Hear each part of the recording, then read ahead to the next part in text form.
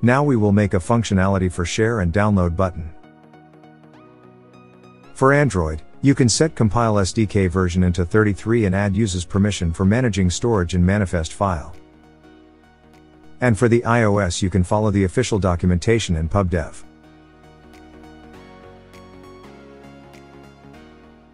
For sharing the photo we will process it in our BLoC because we need to get the photo as bytes first.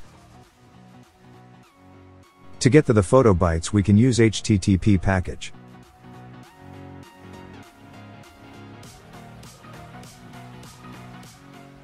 After we get the bytes, we will store it in temporary directory from path provider package, and then share the file using share files from share plus package.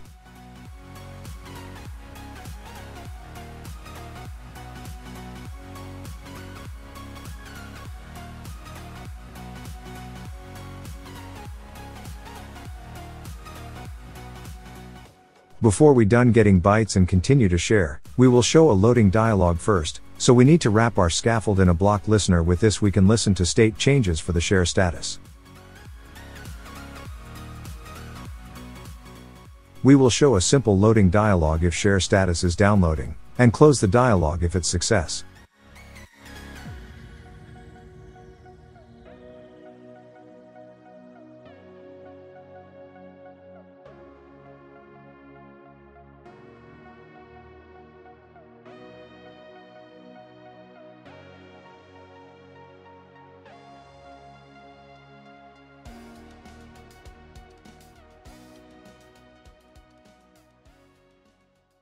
And now we will create a function to download the original photos, same as share photo we will done it in our BLoC or cubit.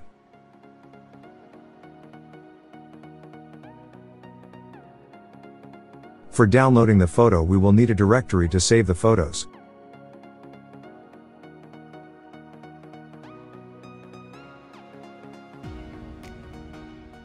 In Android we will store it in our storage and picture folder.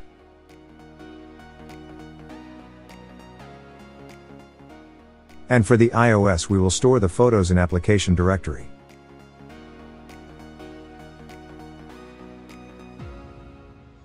We can also use Dio package to download the photos from the internet.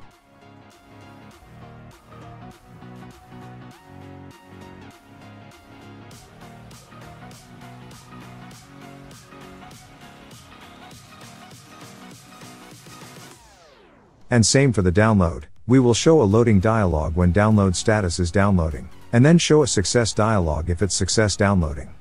And if something goes wrong we will show a snack bar message.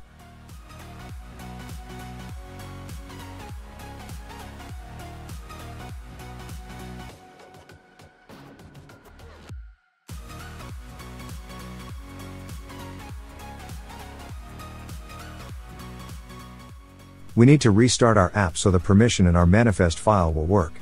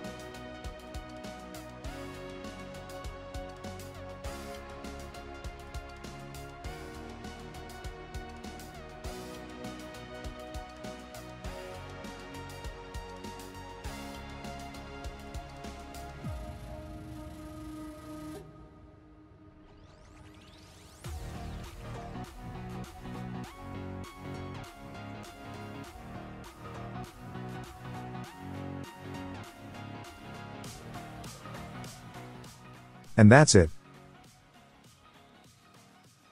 Thanks for watching.